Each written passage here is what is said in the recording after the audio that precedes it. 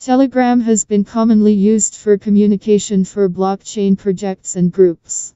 It is one of the best ways to connect with key people, learn more about the project, and also look for updates. As much as most of us love playing games, work and other commitments to take away a lot of time for that. However, for most of us in the crypto space, we try to pop in from time to time on Telegram to check for any updates happening. An update from James McDavid, founder of Grasshopper Farm. He there.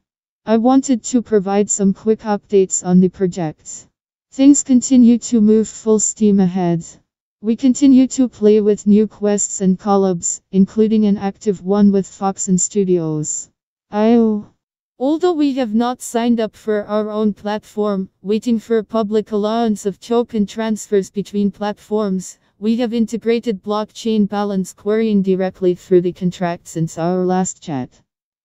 Behind the scenes, I am doing a lot of work to revamp the menu system and make the bot feel like more of a game immersive menus, similar to town navigation of an arts or some of those mobile games, but text-based.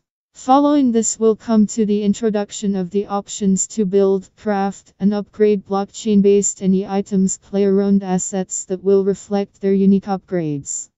Complete ownership of this will allow players to buy, sell, and trade almost every aspect of the project, allowing players to explore several different ways to play the Yorgia.